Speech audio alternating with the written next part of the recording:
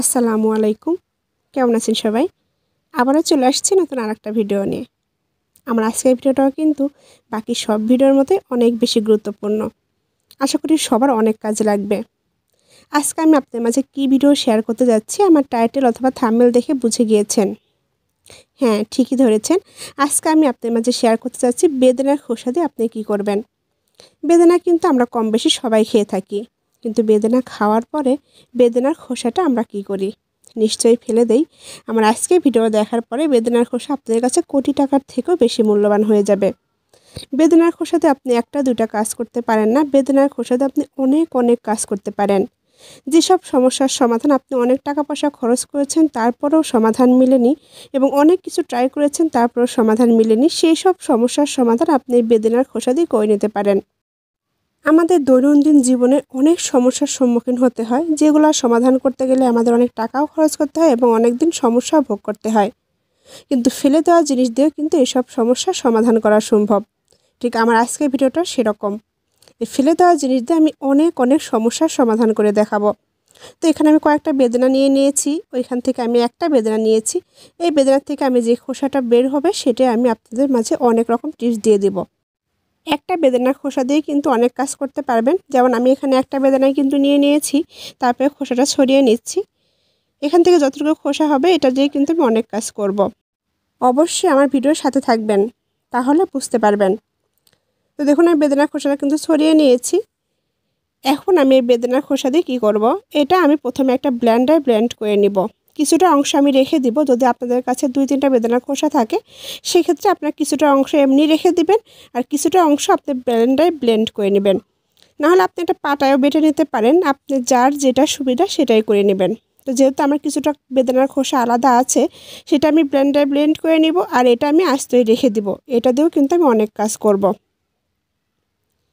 তো এখানে আমি কিছুটা বেদনার খোসা কিন্তু ব্লেন্ড করে নিয়েছি। প্রথমে আমি যে টিপসটা দিয়ে দিচ্ছি, সেটার জন্য আমি কিছুটা বেদনার খোসা বাটা নিয়ে নিয়েছি একটা বাটিতে। দেড় চামিচের মতো হবে। তারপরে এটার মধ্যে দিয়ে দিচ্ছি এক চামিচের মতো চাউলের গুঁড়া। এই জায়গাটাতে কিন্তু চাউলের গুঁড়াটাই ব্যবহার করতে হবে। আমরা যারা গৃহিণী এবং যারা ভাইয়েরা আছেন, রোদে পোড়া একটা এক্সট্রা সেচের পর কালো দাগ পড়ে যায়।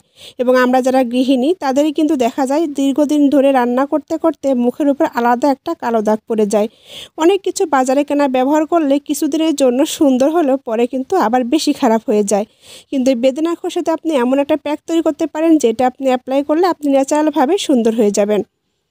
যেমন মনে করেন বেদনা খোসার মধ্যে আমি চাউলের গুঁড়া দিয়ে যে প্যাকটা তৈরি করেছি, এখানে আমি আর কিছুই ব্যবহার করব না। যখন আপনি বেদনা খোসাটা বাসায় থাকবে, সেটা দিয়ে আপনি এটা তৈরি করে মুখে লাগিয়ে দশ থেকে পনেরো মিনিট রেখে দেবেন। তারপরে নর্মাল পানি দিয়ে পরিষ্কার করে নেবেন। এটা আপনি দিনে রাতে যে কোনো সময় করতে পারবেন। তবে এটা মুখে অ্যাপ্লাই করার পরে ভুলেও কিন্তু রোদরে যাওয়া যাবে না অথবা চুলার কাছে যাওয়া যাবে না। এটা যখন আপনি অ্যাপ্লাই করবেন, তখন কিন্তু আপনি ছায়ার মধ্যে অথবা ঠান্ডার মধ্যে থাকতে হবে। দিনে যে কোনো সময় ব্যবহার করতে পারবেন, এটা অন্তত পক্ষে সপ্তাহে দুই থেকে তিন দিন ব্যবহার করবেন। এতে করে আপনার চেহারা উজ্জ্বল তো হবেই, পাশাপাশি আপনার মুখে এক্সট্রা কোনো কালো দাগ থাকলে সেটাও দূর হয়ে যাবে। একবার হলেও ট্রাই করে দেখুন। তারপরে ফলাফলটা নিজেই বুঝতে পারবেন। আশা করি এই টিপসটা আপনার কাছে অনেক বেশি ভালো লাগবে। এটা কতটা কার্যকরী টিপস আপনারা যখন বাসায় ট্রাই করবেন, তখন বুঝতে পারবেন।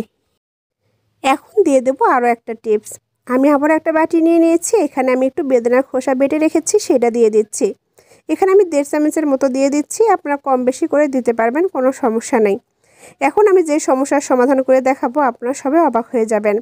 এই বেদনার খোসা বাটার মধ্যে আমি দিয়ে দিচ্ছি একটু পরিমাণ লবণ। আমি এক চামচের তিন ভাগের এক ভাগ লবণ দিয়ে দিয়েছি।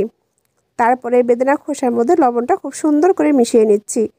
এখন এখানে আমি কি তৈরি করেছি, সেটা বলে দিচ্ছি।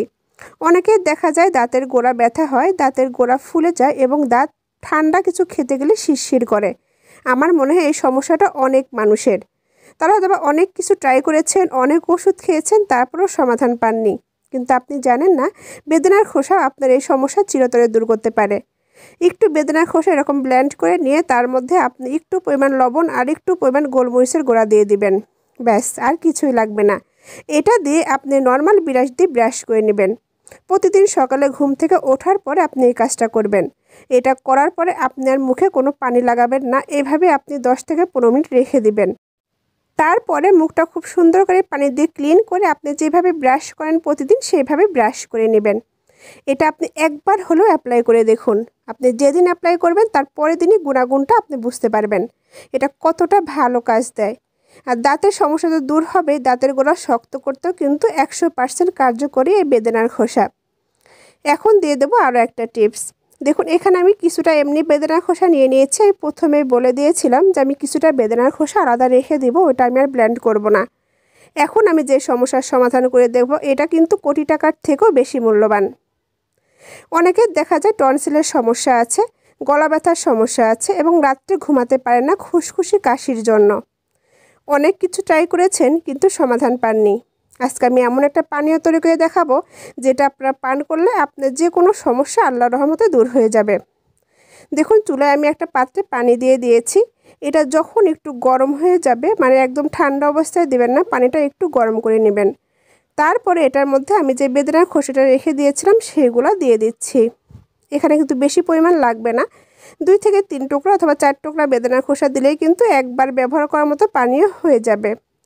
এটা অবশ্যই অন্তত পক্ষে দশ থেকে পনেরো মিনিট জাল করতে হবে। জাল করা অবস্থাতেই কিন্তু কিছু সময় পরপর নেড়ে দিতে হবে। এতে করে বেদনা খোসার ভিতরে যে উপকরণগুলো আছে, সেগুলো বের হয়ে যাবে খুব সহজেই। কিছু সময় নেড়ে নেওয়ার পরে দেখবেন পানির কালারটা অনেকটা চেঞ্জ হয়ে এসেছে। খুব সুন্দর একটা কালার চলে এসেছে এবং বেদনার খোসাটাও সেদ্ধ হয়ে গিয়েছে। তখন বুঝে নিতে হবে আপনার এই পানীয়টা রেডি হয়ে গিয়েছে।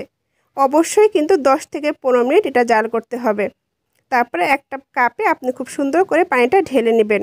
এখানে আর বেদনা খোসাটা ব্যবহার করার দরকার নাই, শুধু পানিটাই নিয়ে নেবেন, যেমন আমি নিয়ে নিয়েছি। এখন এখানে যেটা করবেন, সেটা হচ্ছে আধা চামচের মতো লবণ দিয়ে দিবেন জাস্ট একটু টেস্টটা বাড়ানোর জন্য।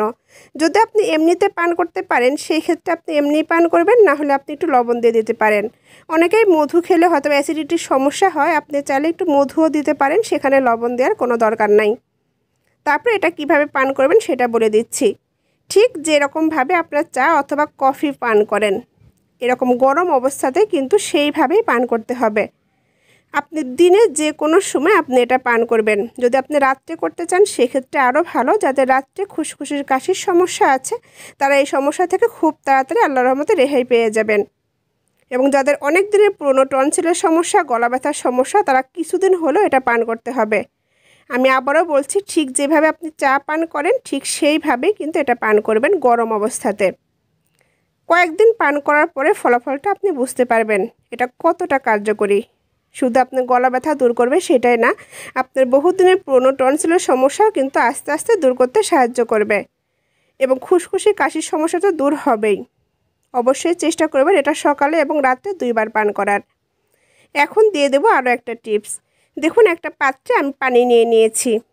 এখানে কিন্তু আমি কোনো গরম অথবা ঠান্ডা পানি ব্যবহার করছি না। আমি নর্মালি যে ট্যাপের পানিটা সেটা ব্যবহার করছি। এখানে কিন্তু পানির পরিমাণটা একটু বেশি নিতে হবে। কম হলেও কিন্তু এক থেকে দেড় লিটারের মতো পানি নিয়ে নিতে হবে। তারপরে পানির মধ্যে আপনি কয়েক টুকরো বেদনার খোসা দিয়ে দিবেন। বেদনার খোসা দিয়ে এটা আপনি সারা রাত্রের জন্য রেখে দিবেন। হয়তোবা সবাই ভাবছেন, এটা দিয়ে আবার কি করব। এটা দিয়ে আপনি এমন একটা মূল্যবান কাজ করবেন সেটা আপনার অবাক হয়ে যাবেন। যদি আপনি সারা রাত না রাখতে পারেন, সেক্ষেত্রে অবশ্যই ছয় থেকে সাত ঘণ্টা অথবা আট ঘণ্টা রেখে দিতে হবে। রেখে দেওয়ার পরে দেখবেন আপনার এই পানিটা কিন্তু অনেকটা চেঞ্জ হয়ে গিয়েছে। একটা বেগুনে বেগুনে এবং খয়রি খয়রি কালার চলে এসেছে। অনেকের দেখা যায় চুলে অনেক রকম সমস্যা হয়ে থাকে। অতিরিক্ত চুল ঝরে, চুলের আগা ফেটে যায় এবং চুলটা অনেক রুক্ষ। এই সমস্যার সমাধান করতে বেদনার খোসার কিন্তু কোনো জুরি নাই। বেদনার খোসা ভিজে রাখা যেই পানিটা আপনি রেখেছেন, এই পানিটা আপনি যখন একটা মগে ঢালবেন আর একটু পানি দিয়ে এটা ডাবল করে নেবেন। তারপরে আপনি যখন শ্যাম্পু করবেন, শ্যাম্পু করার পরে আপনার চুলটা খুব সুন্দর করে ক্লিন করে তারপরে এই পানি দিয়ে আবারও চুলটা ক্লিন করে নেবেন। এটা অন্তত পক্ষে আপনি সপ্তাহে একবার অথবা দুইবার করে দেখুন। আপনার চুল তো সুন্দর হবেই। পাশাপাশি আপনার চুলের গোড়া শক্ত হবে এবং যতদিনের চুল ঝরার সমস্যায় হোক না কেন সেটাও দূর হয়ে যাবে এবং চুলের আগাভাটার সমস্যা থাকলে সেটাও দূর হয়ে যাবে। এটা কতটা কার্যকরী একটা টিপস আপনি একবার হলেও ট্রাই না করলে বুঝতে পারবেন না। এটা আপনি একবার ট্রাই করার পরেই কিন্তু ফলাফলটা বুঝতে পারবেন। তবে একটা কথা মাথা রাখতে হবে, এটা কিন্তু শ্যাম্পু করার পরে ব্যবহার করতে হবে। আপনার চুল ময়লা আছে, এই অবস্থাতে কিন্তু এটা ব্যবহার করলে পুরোপুরি কার্যকারিতা পাবেন না। অবশ্যই সেদিকে খেয়াল রাখবেন। আশা করি আমার এই টিপসটা আপনাদের কাছে অনেক বেশি ভালো লাগবে এবং অনেক কাজে লাগবে। এখন দিয়ে দেবো আরও একটা টিপস।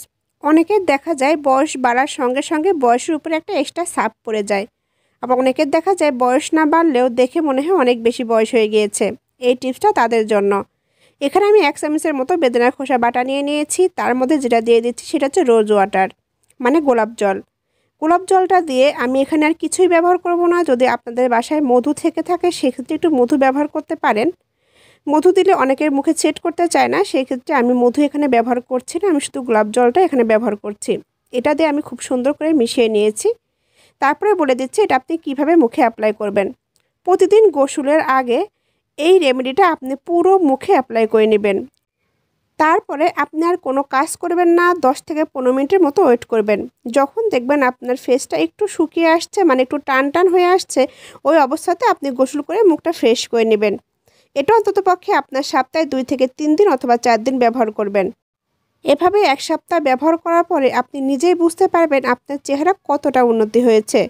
অনেক দিনের চেহারা কালো সাপ পড়ুক এবং চেহারার মধ্যে বয়স্ক সাপ পড়ে যাক যেটাই হোক না কেন সেটাই কিন্তু অনেকটা দূর হয়ে যাবে।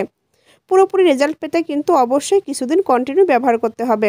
কম হলেও সপ্তাহে দুই থেকে তিন দিন। হয়তো বা এই সমস্যা দূর করার জন্য বাজারে কেনা অনেক কিছু আপনারা অ্যাপ্লাই করেছেন।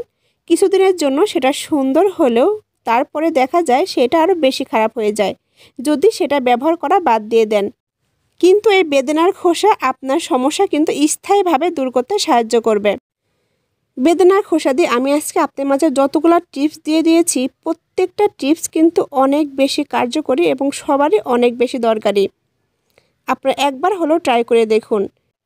যেসব সমস্যার সমাধান করতে গিয়ে আপনি টাকা পয়সা খরচ করেছেন, তারপরেও সমাধান পাননি, কিন্তু ফেলে দেওয়া জিনিস দিয়ে আপনি সেসব সমস্যার সমাধান করতে পারবেন। তার মানে এটা কিন্তু কোটি টাকার থেকেও বেশি মূল্যবান। আশা করি আমার আজকের প্রত্যেকটা টিপস আপনাদের কাছে অনেক ভালো লাগবে। আজ এ পর্যন্তই। সবাই ভালো থাকবেন, সুস্থ থাকবেন। আল্লাহ হাফেজ।